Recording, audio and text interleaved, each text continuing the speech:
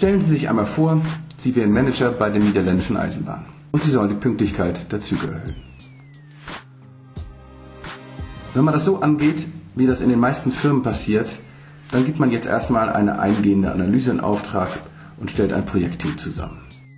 Das Team beschäftigt sich dann mit den Ergebnissen der Analyse, arbeitet Verbesserungsvorschläge aus und macht einen Plan, wie man diese Vorschläge implementieren kann. Klingt alles ganz normal. Und dann wird das Ganze ausgerollt. Ausrollen heißt in diesem Fall buchstäblich, dass den Schaffnern und Lokomotivführern in noch mehr Details erklärt wird, wie sie ihre Arbeit zu machen hätten. Noch mehr Kontrolle, noch mehr Druck. Und im Endeffekt weniger Motivation, Engagement und immer noch nicht besonders pünktliche Züge. Denn wenn die Schaffner und Lokomotivführer nicht wollen, dann werden die Züge auch nicht pünktlicher. Sie können sich auch vorstellen, Sie wären Mitarbeiter in einem Jugendamt. Sie sind das wahrscheinlich geworden, weil Sie gerne mit Jugendlichen umgehen.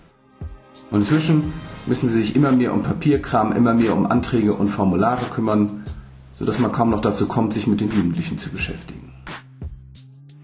Darüber kann man sich dann ärgern, man kann darüber klagen oder es hinnehmen, wie ganz viele Menschen. Die Welt ist nun einmal so. Ändern wird sich dadurch nichts. Es ging auch anders. Unser Eindruck war, wenn wir ein Spiel draus machen könnten und auch noch jede Woche Zwischenstände des Erreichten zurückgeben könnten, dass wir damit eine Art Wettbewerbsmentalität schafften, die helfen würde, das Unmögliche zu schaffen. Wir nennen diesen Ansatz Spielen. Spielen ist dabei keine Aktivität, sondern eine Haltung, eine Perspektive.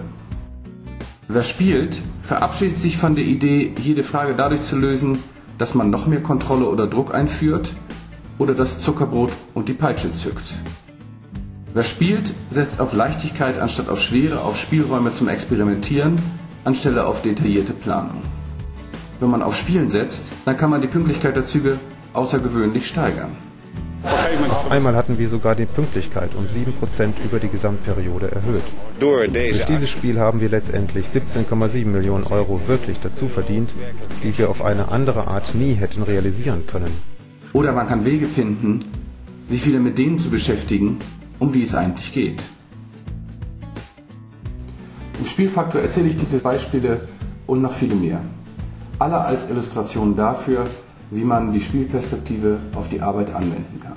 Denn wir sind schon lange an einem Punkt angekommen, an dem die traditionellen Wege, wie man Pläne verwirklicht oder wie man Veränderungen durchführen kann, nicht mehr funktionieren.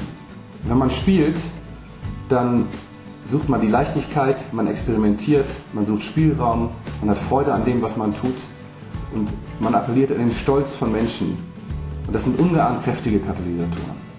Der Spielfaktor beruht auf langjähriger Erfahrung. Man kann die Ideen des Buches sofort anwenden, man kann sich einfach nur inspirieren lassen oder Spaß dran haben. Was passiert, wenn man die Spielperspektive auf die Arbeit anwendet, wie viel Spaß Arbeit eigentlich machen könnte und wie viele Resultate man erreichen kann.